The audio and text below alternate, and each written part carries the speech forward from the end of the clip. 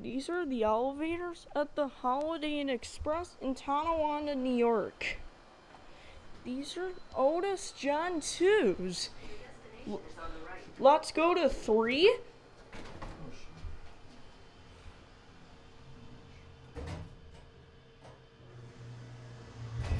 Oh, looks like a death trap.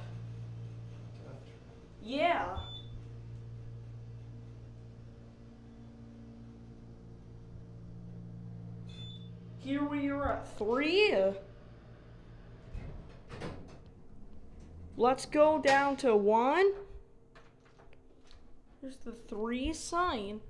2,500 pounds. Now let's get a cab view. Just your basic death trap elevator. Here your Series 7 fixtures. Here we are at one. Here's the indicator.